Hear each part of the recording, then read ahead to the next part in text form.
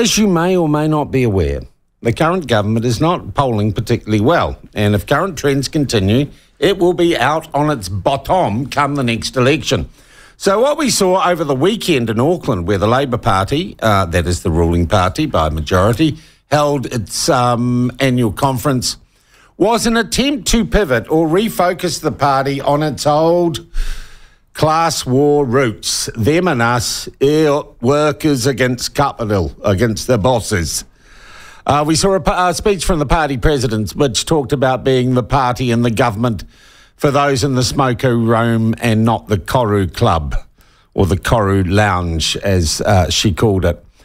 And then uh, we saw a flurry of criticism of uh, a set of organisations that it is easy to dislike, uh, though not always logically, the banking sector, the big banks, who have been going through their annual reporting season. And because they're big and because they're banks, they've made lots of money, billions of dollars which of course makes people who don't have billions of dollars, it makes us a little green with envy and a little angry, and it makes the banks a very easy target.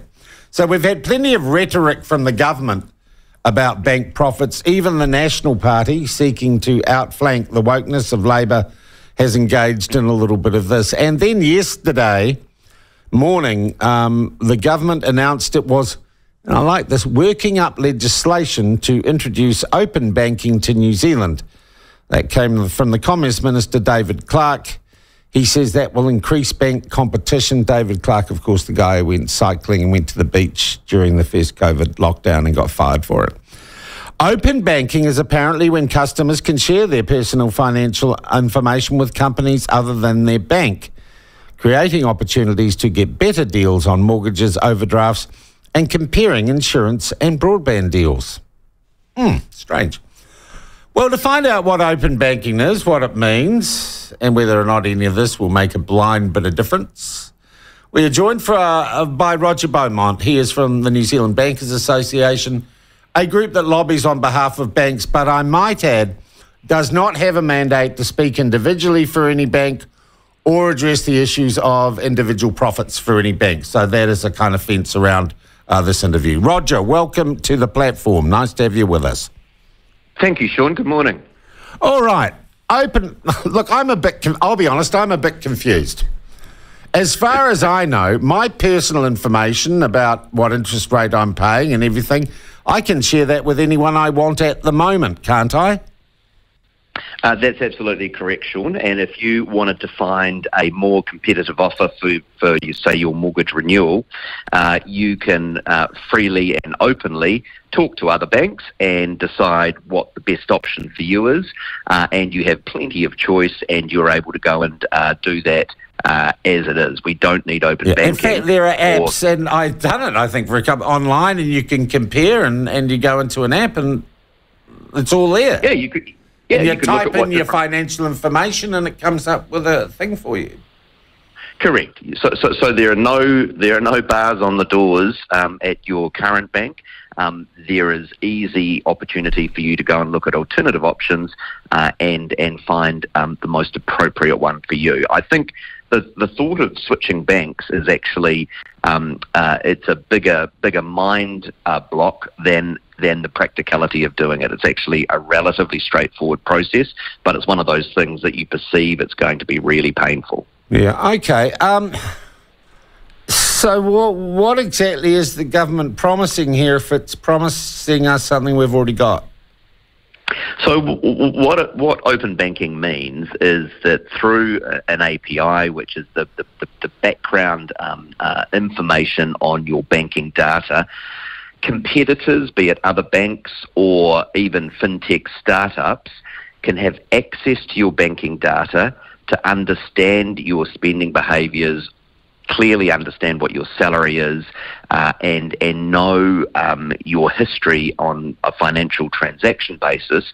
And on that basis, the theory is that they can offer you a more competitive uh, rate mm. because they have okay. a better understanding of your financial affairs. But you can provide them with all your banking records yourself, can't you? You can. That's absolutely correct. What this does is make it uh, much more seamless uh, and straightforward for customers. The concern here, though. Well, hang uh, on, hang on, hang on, Roger. For customers or for financial institutions to share information about their customers with each other?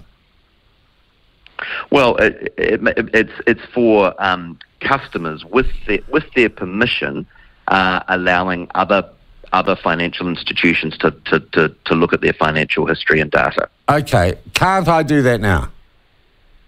Well, you can't do it um, seamlessly. Um, you would have to, for example, probably request some history of, of your statements or print off a whole lot of, banking statements, and you could provide that to another bank. So that yeah. would give them the same insight. It's just a more seamless process. It doesn't seem a particularly big deal, if I'm going to be honest, Roger. Well, yes, you might say that, Sean. Um, the, the, the, and what, you couldn't possibly comment? the, the thing about it is, and the thing that we're really anxious about, is customer um, uh, security of their data is absolutely critical. yeah. This. So you don't. Yeah, that's a big deal. Because because banks have an obligation to protect customers' data. Uh, because when you think about it, your banking transactional data tells an awful lot about you. You imagine that leaking because um, some fintech has um, requested your data to uh, give a more competitive um, pricing option on some sort of financial service. Your financial data leaking is a pretty big deal compared to, say, um, your electricity usage data leaking, which is not such a big deal. So open banking and using uh, have, having having uh, that data go out uh, into other competitors, uh, it needs to be framed up in a way that makes sure that your customer yeah. make sure the customer data is as secure as it can be. Roger, in general terms. Yeah. How many customers of banks are screaming that they want this change? Is this something that the banks frequently receive complaints about? Uh, in a word, no. Um, and uh, I think the um, the uh, appetite for this is a lot from the technology or fintech startup uh, industry. Are really keen to do the, this because that uh, actually makes their business model a whole lot easier to engage uh, and and pursue customers. But um, as I say, there are no bars on the doors at the moment for customers to change banks. You can do that openly and freely. and all this does is is make that process uh, more seamless. All right. So the government says, Clark says, the key point is that open banking allows customers to shop around for better deals. You're telling us they can already do that. This bank means Correct. banks will also have to work harder to retain their customers, leading to savers for consumers. But if this isn't a problem that customers have identified, that sounds like BS. Well, you know, um, we actually think there's um, quite a bit of uh, confusion about open banking in terms of the Do you think the government market. is confused about open banking, Roger? or willfully well, representing its benefits in its political interests? Well, I think the government have been um, talking about this since uh, Minister Faafoi was the Commerce Minister. Uh, so there's been a, a, lot of talk about this for some time. Uh, to be honest, we've been expecting this announcement for some time as well. Uh, it's interesting it's come out this week. Do you think it's been spun to look like it's it's part of this current and recent narrative of let's hate the big bag banks? So they've taken something that's kind of just a procedural reform and dressed it up as some, I don't know, some shot in the arm for the working classes. Well, I think it's a I think it's um, a, a timely response on their part to uh, some significant narrative that has uh, taken place this week. Do you agree with that narrative? Do your members agree with that narrative? And we've had a couple of commentators on here saying, "God, you don't want banks not making money, then we're all in trouble." Well, that's exactly right, Sean. Uh, if uh, show me a, a, an economy with unprofitable banks, and I'll show you an economy you do not want to be a part of. So, um, having strong, robust, profitable banks, particularly as we're heading into some pretty economic. Uh, um, economically challenging headwinds, you want your banks to be strong and robust because actually that's how the economy gets through because uh, when customers are under pressure and um, feeling the pain, uh, banks having a bit of hay in the barn is a very good uh, position to be in. All right. I know you cannot talk individually about individual banks' profits, but overall, Correct. overall, the banking industry in New Zealand and your members, when we compare internationally, are the profits in New Zealand disproportionate? Uh, in a word, no. So if you look at the um, return on equity of the major banks uh, in this market, um, they sit at around that's that return on equity sits at around the, the middle of the pack if you're comparing it with, say, the um, NZX top 50. Mm. Um, so, you know, these are big, big businesses. You know, they're dealing with massive balance sheets and they are making an enormous contribution to the economy. Um, mm. You know, when you look at the, the contribution banks make in terms of running their business on a day to day basis, that is employing 27,000 people, paying tax as a business, uh, and, and actually um, operating their businesses, the amount of money they spend on doing all of that is greater than their combined profits. Yeah, yeah, that is actually that's a really good point, Roger. Roger, the other thing I'd say, we have seen interest rates climb, obviously, and inflation is up. Um, we are seeing house prices, and I don't hate to say the bubble burst. We're seeing the cycle on a down downtrend, right? Particularly in places like Wellington. Um, our banks, our trading banks, have billions of dollars secured against the housing market in New Zealand. Uh, yet we haven't seen a flurry of mortgagee sales. It would seem to me that banks have as much invested in the New Zealand economy and do not want it falling into chaos as anyone else. Absolutely, Sean. Uh, and, you know, mortgagee sales, for example, are an absolute last resort for a bank. Nobody wins out of a mortgagee sale, neither the bank and certainly not the customer. So banks will typically only resort to a mortgagee sale when um, there's a breakdown in communication, when the customer won't engage, when there's clearly issues going on, there have been so many mispayments, uh, it just becomes an untenable situation. But banks want to work with customers who might be feeling um, under financial pressure. And there's lots of customers that are feeling under financial pressure because a lot of people, for example, have moved from a mortgage uh, on a fixed rate term with a two in front of it to a mortgage with a six in front of it. That's a material change. Mm. Uh, and banks build in what they call buffer rates when they're approving a mortgage, uh, which means that they allow for an increase in rates um, amongst your household expenses as they do that assessment because banks are, are responsible lenders. And so uh, most people can absorb an increase in rate. Um, the additional challenge that we've got is, of course, skyrocketing cost of living costs. So it's not only your mortgage that's going up, but so are the groceries and mm. everything else.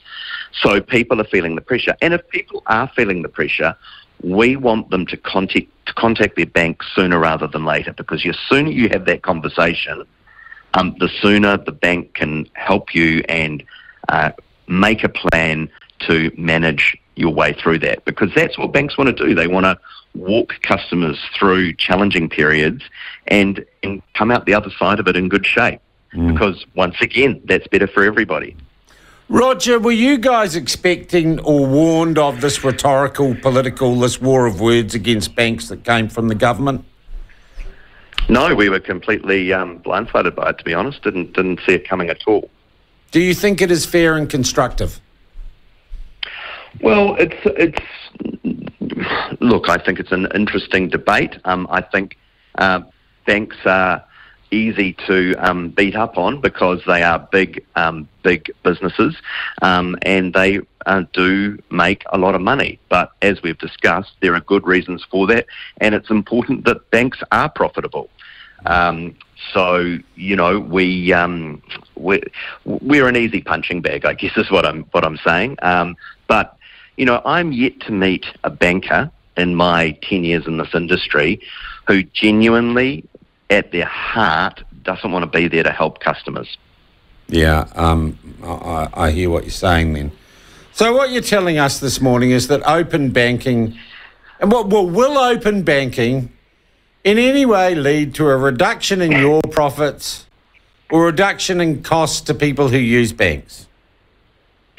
Well, I'm yet to see clear evidence of uh, it impacting bank, bank profitability um, in any of the other markets that's um, come into play, in, in, you know, internationally. Um, but look, anything that enhances giving customer choice is a good thing. But let's be really clear customers already have that choice. They have a wide range of options, and there are plenty of banks in New Zealand uh, for customers to go to as an alternative. Yeah, you're spending plenty on advertising to tell us that too. You could spend some uh, on the platform if you wanted. Um, Very generous of you, George. I also want to say uh, we'll give you a good bang for your buck, I promise. Um, Roger, I also want to say one of the impacts that uh, political rhetoric like this can cause is uh, blowback on social and other media. Have you seen an uptick in negative comments towards your staff, towards your employees, and on social media about banks? Is this sort of political hate speech feeding through and having a negative impact on your people? Look, I, am not aware of any any um, uh, uplift in that sort of activity. You know, banks, as I say, are an easy punching bag, and there will always be a degree of um, a, a, degree of noise around banks because actually, when you think about it, banks are always at the centre of some pain points in people's lives, be it paying a yeah. mortgage or paying bills, or you know, it's it's at, it's at the centre of your people um, never say how activity. happy they are when they get the mortgage. They will get the loan for the new car, do they? no, well, you know, we do get some lovely comments from customers who, who, appreciate the support, and especially those customers who are going through tough times. You know, we do get really nice feedback because, to my comment earlier, bankers want to help. Bankers want to help customers succeed and, and actually, particularly if they're under pressure, get through that, that worrying time. Hey, Roger, I thank you very uh, much for joining us on the platform this morning. That has been most informative uh, our discussion, and we'll talk to you again soon. Look forward to it. Cheers, Sean. Cheers. Roger Beaumont, Chief Executive of the Bankers Association. That's kind of the umbrella lobby group for the bank. So he can't speak individually for any bank